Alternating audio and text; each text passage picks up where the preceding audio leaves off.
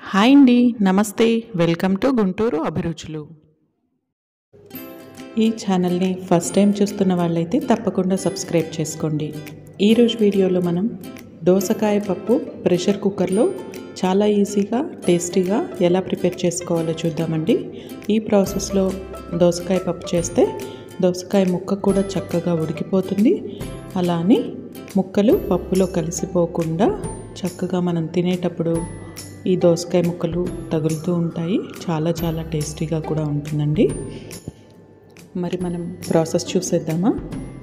ముందుగా ఒక కప్పు కందిపప్పును తీసుకుని శుభ్రంగా కడిగి ప్రెషర్ కుక్కర్లోకి తీసుకోవాలండి. దీనికి రెండు కప్పుల వాటర్ని యాడ్ చేసుకొని కుక్కర్ మూత పెట్టేసేసి రెండు విసిల్స్ వచ్చే వరకు ఉడికించాలి. ఈలోపు ఒక మీడియం సైజ్ ఉల్లిపాయ మూడు టొమాటోలు ఒక దోసకాయ ఆరేడు పచ్చిమిర్చి వీటన్నిటిని ముక్కలుగా కట్ చేసుకోవాలి.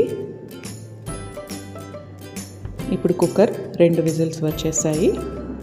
స్టవ్ ఆఫ్ చేసుకుని ప్రెషర్ రిలీజ్ అయిన తర్వాత ఒకసారి మూత తీసి చూద్దాం. చూడండి పప్పు సగం పైనే ఉడికిపోయింది. ఇప్పుడు మనం దీనిలోకి ముందుగానే కట్ చేసి పెట్టుకున్న దోసకాయ ముక్కలు ఈ దోసకాయ ముక్కల్ని కొంచెం పెద్ద సైజు ముక్కలుగానే కట్ చేసుకోవాలండి.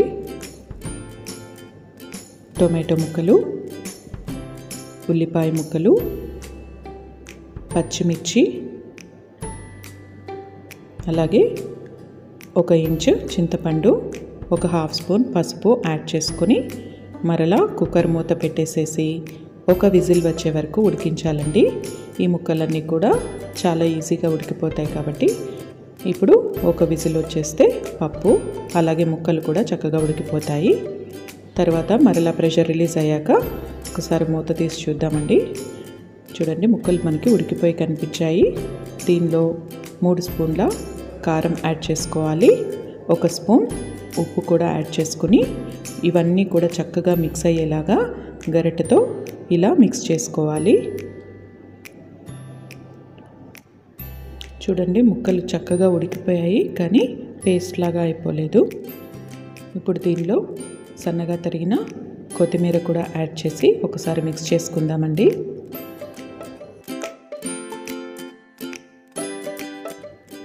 ఇప్పుడు స్టవ్ మీద మరో ప్యాన్ పెట్టుకొని ఒక టేబుల్ స్పూన్ ఆయిల్ వేసుకోవాలి. అలాగే ఒక టేబుల్ స్పూన్ నెయ్యిని కూడా యాడ్ చేసుకోవాలండి. ఇవి హీట్ అయిన తర్వాత ఒక స్పూన్ ఆవాలు ఒక స్పూన్ మినప్పప్పు ఒక స్పూన్ జీలకర్ర ఒక స్పూన్ పచ్చిశనగపప్పు రెండు ఎండుమిరపకాయలు ఒక పావు స్పూన్ మెంతుపిండి కొంచెం ఇంగువ ఒక గుప్పెడు కరివేపాకు యాడ్ చేసుకోవాలండి. ఈ పోపులో ఆరేడు వెల్లుల్లి రెబ్బలు కూడా యాడ్ చేసుకోవచ్చు. ఈ పోపుని మనం మిక్స్ చేసి పెట్టుకున్న పప్పులోకి ట్రాన్స్ఫర్ చేసుకొని ఒకసారి మిక్స్ చేసుకుందాం.